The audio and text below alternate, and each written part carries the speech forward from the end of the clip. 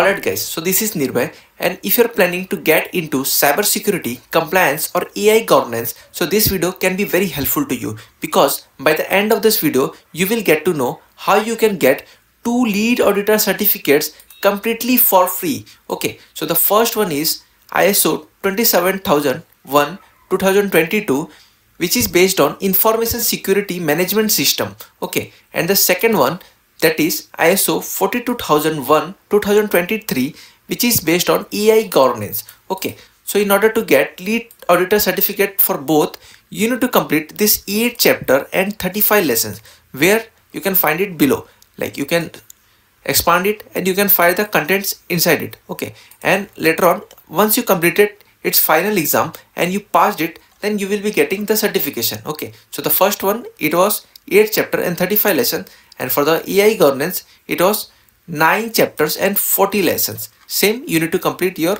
examination. Okay now let's see how you can enroll for this exam. Okay so simply you have to click on this enroll and it will take you to a page like this where you have to provide your email your first name and last name. And you can see it is completely free.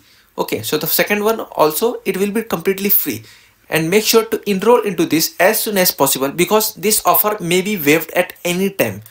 Okay so if you find this video helpful then please do like subscribe because i keep on updating this kind of videos. Till now bye bye